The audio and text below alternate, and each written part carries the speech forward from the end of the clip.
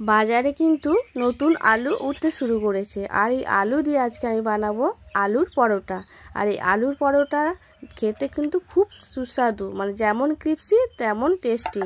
আর এটা কিন্তু খুব সহজ রেসিপি তো এই সুন্দর, সহজ আলুর পরোটার রেসিপিটা আজ আমি আপনাদের সাথে শেয়ার করব। তার জন্য আমি সবজি খেতে এসে গেলাম। আর এখান থেকে বেশ কিছুটা ধনিয়া পাতা আমি তুলে নেব। দেখুন, ব্রোকলি যে ডিপ সবুজ, সেটা কিন্তু ব্রোকলির গাছ।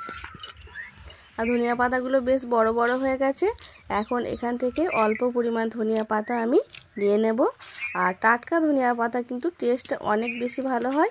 তবে আপনারা যদি না পান হাতের কাছে, তাহলে বাজার থেকেই নিয়ে কিনে নেবেন।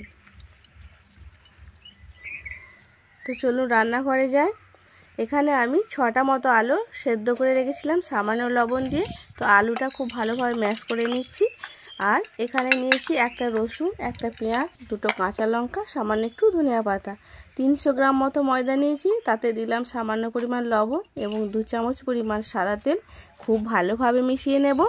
দেখুন, ময়ানটা আমার ঠিক হয়েছে কি এইভাবে, দেখে নেব। তার মানে ময়ান ঠিক হয়েছে। এখন আমি নর্মাল জল দিয়ে খুব ভালোভাবে ডোটা তৈরি করে নেব। এখানে কিন্তু একবারে বেশি জল দেবেন না, অল্প অল্প জল দিয়ে সুন্দর একটা ডো তৈরি করতে হবে এবং এভাবে ঠেসে ঠেসে ডোটা তৈরি করলে কিন্তু সফট হয়। ময়দার যে কোনো রান্নায় কিন্তু রেসিপিতেই বলুন, ময়দার ডোটা কিন্তু খুব সুন্দরভাবে তৈরি করতে হবে। এখন আমি এটা আধ ঘণ্টার মধ্যে চাপা দিয়ে রেখে দেবো। আর ধনিয়া পাতাটা ধুয়ে নিয়েছি, খুব ভালোভাবে জল ঝরিয়ে নিয়েছি। এখন মিহি করে কুচো করে নিচ্ছি।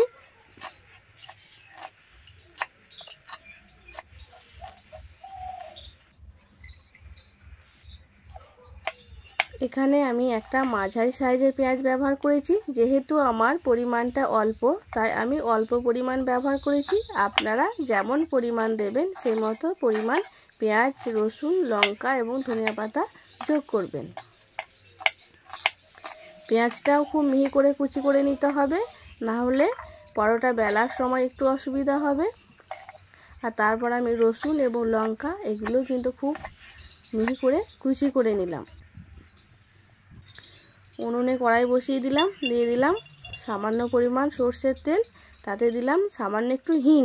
হিঙের ফোড়ন দিলে কিন্তু এই পরোটার টেস্টটা কিন্তু অনেক ভালো হয়। আর এখন দিয়ে দিলাম পেঁয়াজ কুচি, রসুন কুচি দিয়ে খুব ভালোভাবে মিশিয়ে নিলাম, তার সঙ্গে দিয়ে দিলাম কাঁচা লঙ্কা কুচি, সামান্য একটু লবণ দিলাম যাতে পেঁয়াজটা খুব ভালোভাবে তাড়াতাড়ি রান্না হয়ে যায়।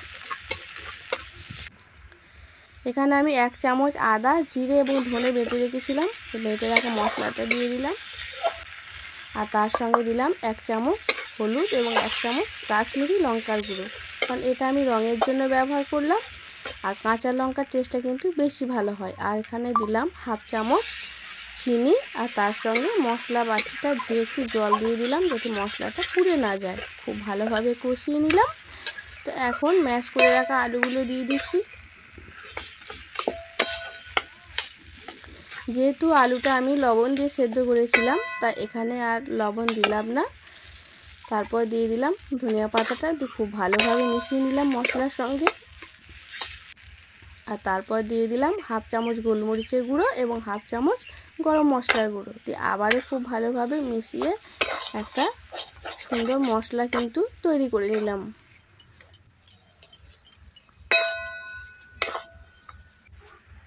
তো আলুর পুরটা আমার রেডি হয়ে গেল, এখন আমি নামিয়ে নিচ্ছি।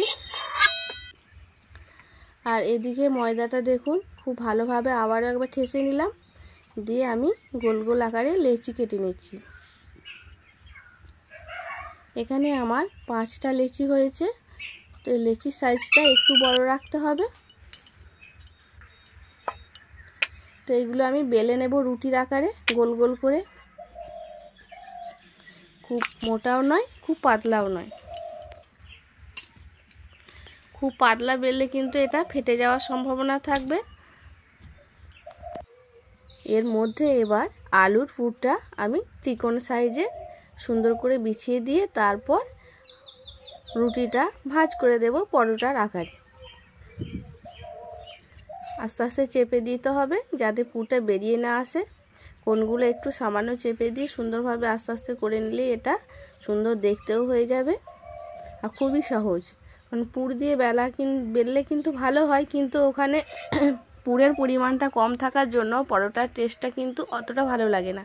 কিন্তু এইভাবে বানালে টেস্টটা কিন্তু খুবই সুন্দর লাগে। সবগুলো আলুর পরোটা আমি এইভাবে তৈরি করে নিয়েছি।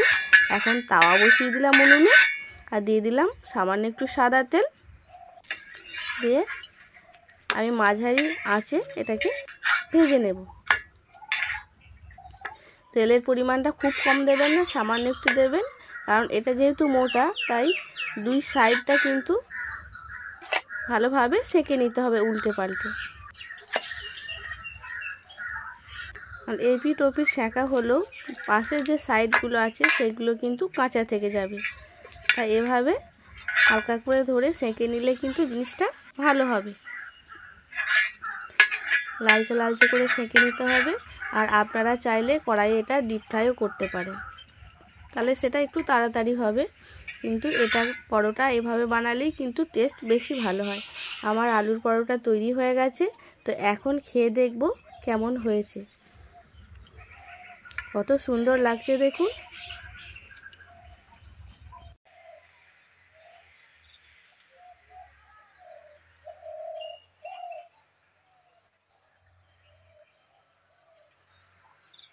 দারুণ খেতে হয়েছে।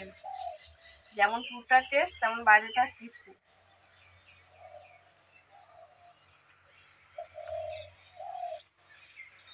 একটা খেলেই মনে হচ্ছে পেট ভরে যাবে আর মনও হয়ে যাবে। তো আপনারা এভাবে বাড়িতে বানাবেন, খেয়ে দেখবেন, আপনাদের কেমন লাগল সেটা কমেন্ট করে অবশ্যই জানাবেন। আর পুরো ভিডিওটি দেখার জন্য অসংখ্য ধন্যবাদ। ভালো থাকবেন, সুস্থ থাকবেন। আজকের মতো এই পর্যন্ত। দেখা হচ্ছে নতুন একটি রেসিপি নিয়ে।